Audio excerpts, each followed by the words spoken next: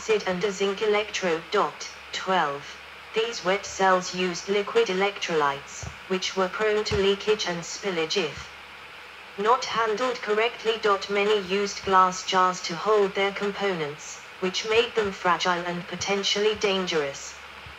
These characteristics made wet cells unsuitable for portable appliances. Near the end of the 19th century, the invention of dry cell batteries, which replaced the liquid electrolyte with a paste, made portable electrical devices practical. 13. Batteries in vacuum tubes historically used a wet cell for the A battery, to provide power to the filament, and a dry cell for the B battery, to provide the plate voltage. Dot future.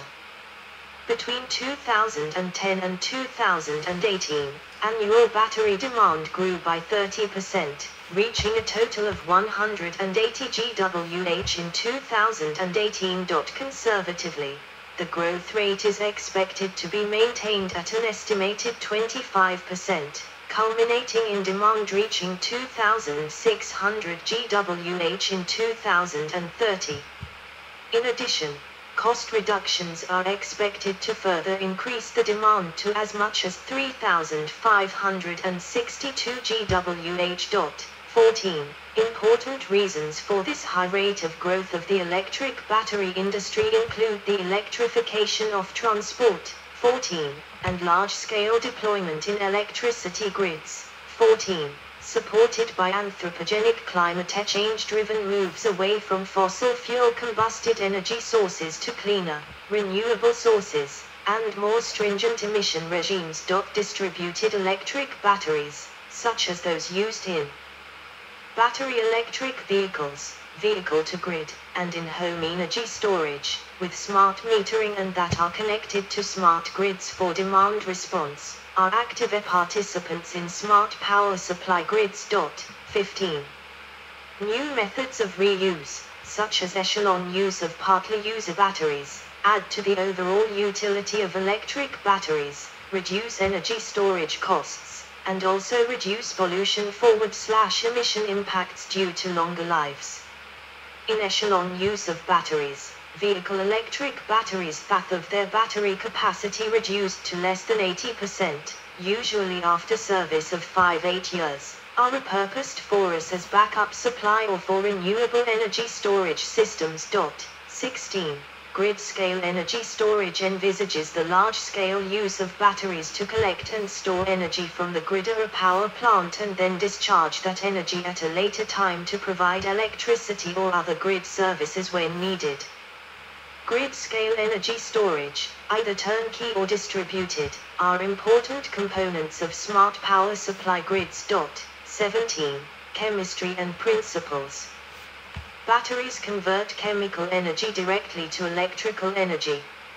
In many cases, the electrical energy released is the difference in the cohesive, 18, or bond energies of the metals, oxides, or molecules undergoing the electrochemical reaction. 3. For instance, energy can be stored in Zn or Li, which are high-energy metals. A voltaic cell for demonstration purposes.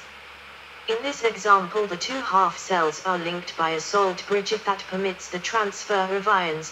Because they are not stabilized by d-electron bonding, unlike transition metals. Batteries are designed so that the energetically favorable redox reaction can occur only when electrons move through the external part of the circuit. A battery consists of some number of voltaic cells.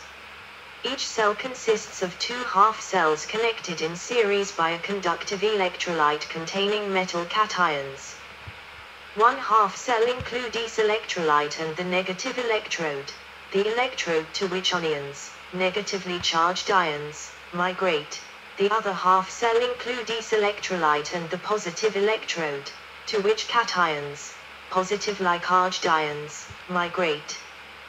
Cations are reduced, electrons are added, at the cathode, while metal atoms are oxidized, electrons are re-removed, at the anode. Dot, 19. Some cells use different electrolytes for each half cell. Then a separator is used to prevent mixing of the electrolytes while allowing ions to flow between half cells to complete the electrical circuit.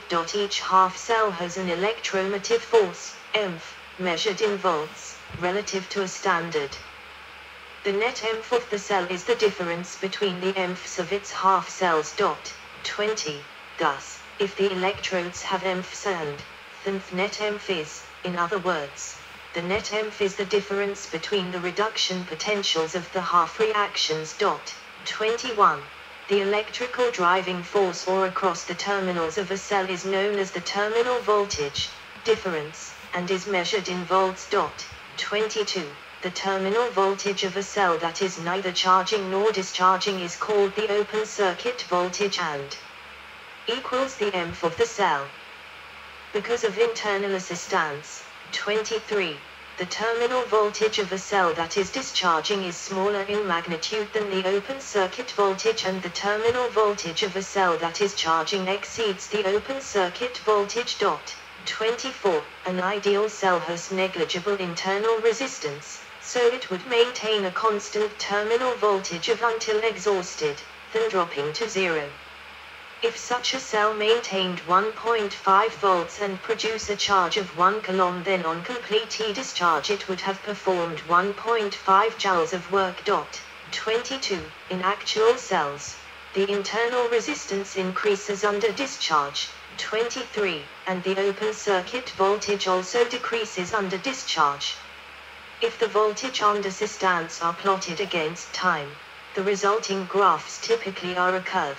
The shape of the curve varies according to the chemistry and internal arrangement employed. The voltage developed across a cell's terminals depends on the energy release of the chemical reactions of its electrodes and electrolyte. Alkaline and zinc carbon cells have different chemistries, but approximately the same EMF of 1.5 volts. Likewise NiCd and NiMH cells have different chemistries but approximately the same EMF of 1.2 volts. 25. The high electrochemical potential changes in the reactions of lithium compounds give lithium cells EMFs of 3 volts or more.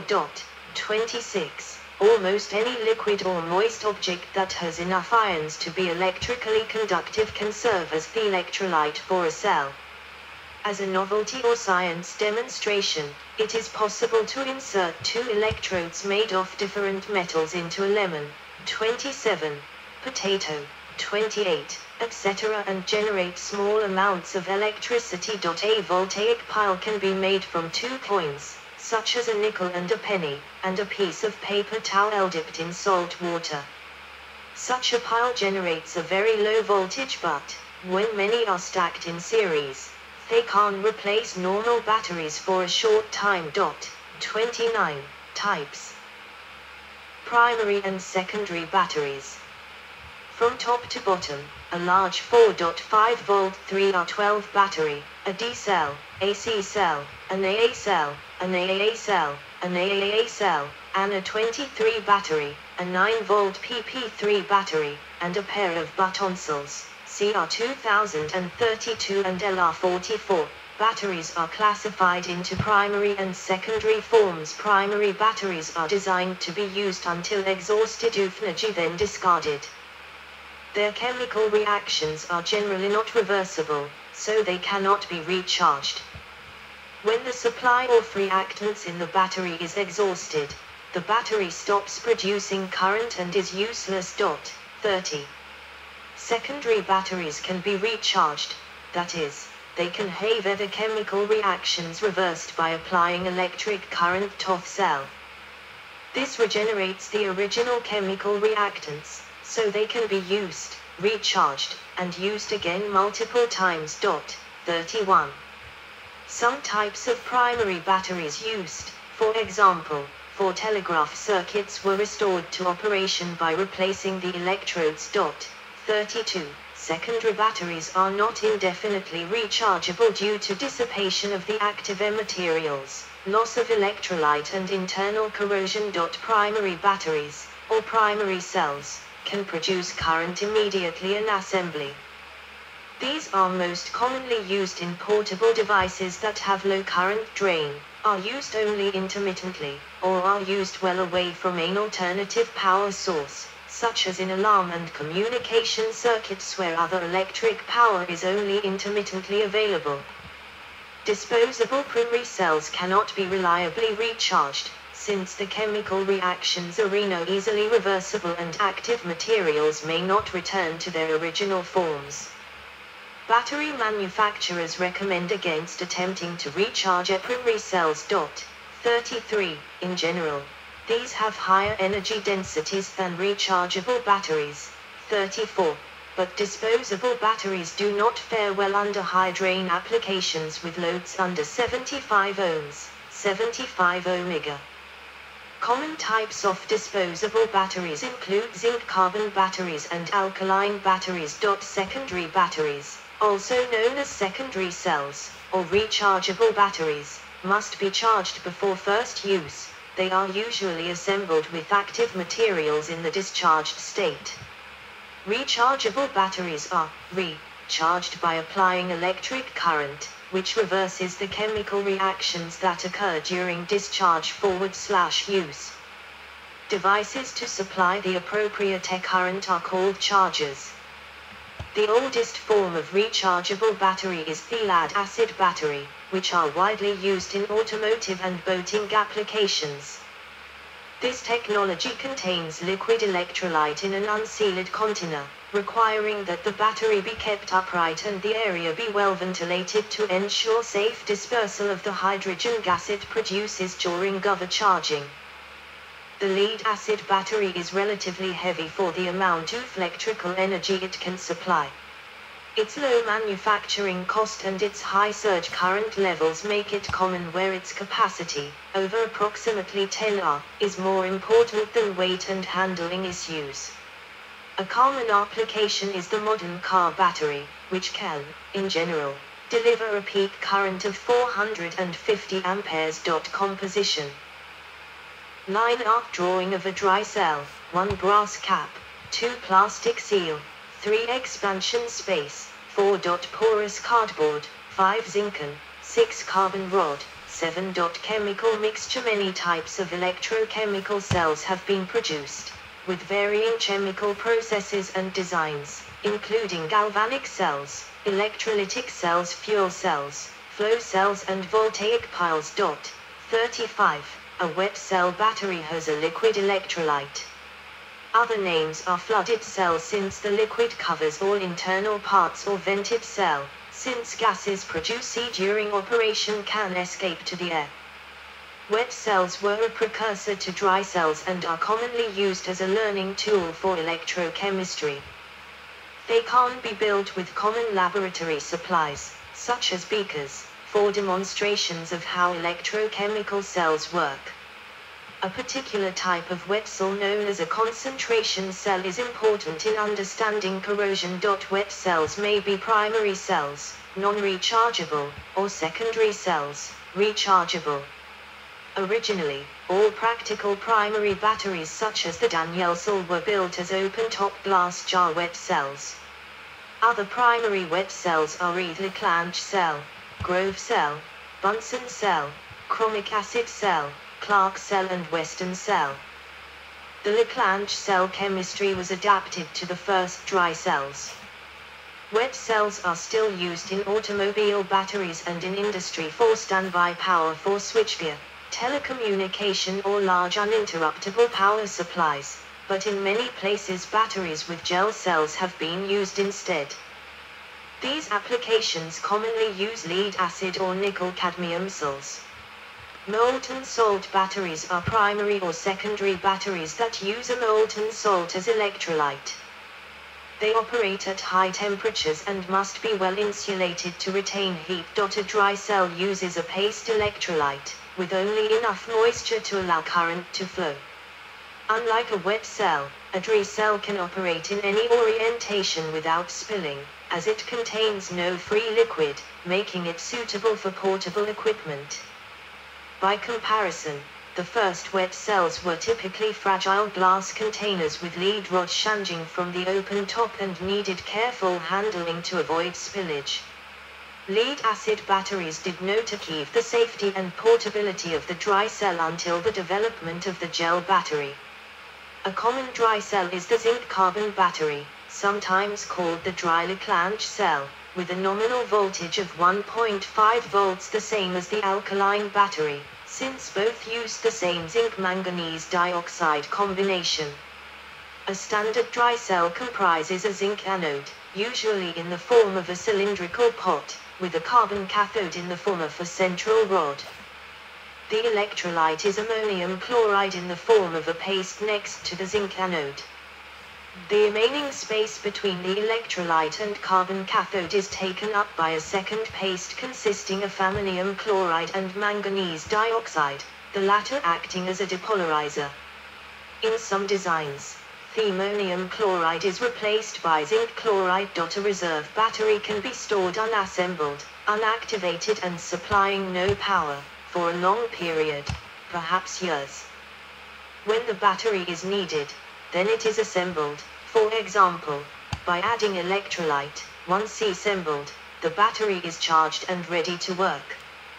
For example, a battery for an electronic artillery fuse might be activated by the impact of firing a gun. The acceleration breaks a capsule of electrolyte that activates the battery and powers the fused circuits. Reserve batteries are usually designed for a short service life seconds or minutes, after long storage, years.